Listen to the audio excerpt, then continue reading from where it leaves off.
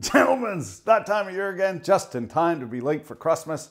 We got some labels, what for covering up your shame, the bad juju from the getting spot. Everybody knows the government is the best spot to get barely used gear, but it comes with a curse. Those scraped off equipment numbers.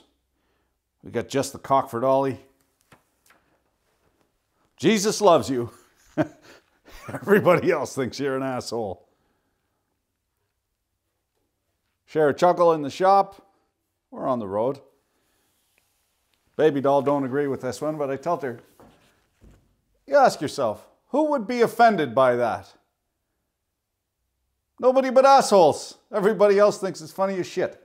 They can get yours uh, over on the Etsy. As I say, don't expect it before Christmas. However, even better, you forget all about it. You get this in the mail later on on a Saturday. Your wife comes back eh, wondering why you're got a shit-eating grin and what that yellow label is on the back of her Honda. Hard times in the Maritimes. It's been a couple tough years.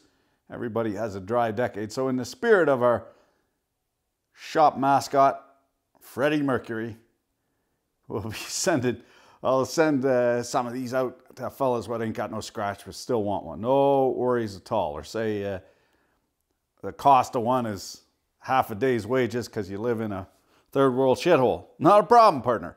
I got you. I got you. Head on over. Just uh, drop me a line at uh, townpumpcnc at hotmail.com. That's H O T M A I L, not M A L E.